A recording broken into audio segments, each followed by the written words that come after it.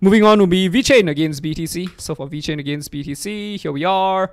Uh, we are in a falling channel. How much how much lower are we going to go? I have no idea. I have no idea. Are we going to go all the way down? Yeah, potentially we could. Um, we could take out. Uh, we take out lows over here, right? But this is in itself a um, noisy area, so we we could be heading towards the noisy area and then pump.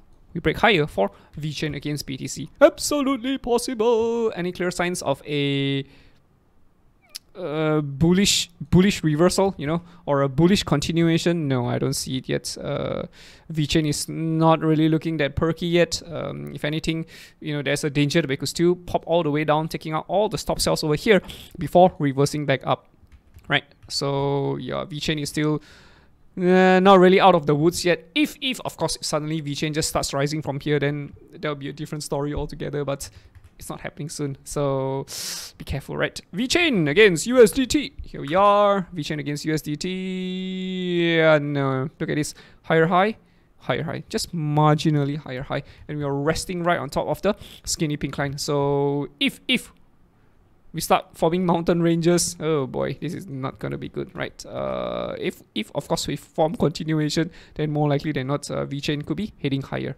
right? But uh, in my opinion, uh, VeChain against USDT and against BTC, in my opinion, at this point of time, is not tradable. Not yet, because it carries too much risk. It still carries too much risk. So, uh, as a trader, you want to be risk averse. If something carries risk, you want to minimize your exposure to that risk. How do you do that?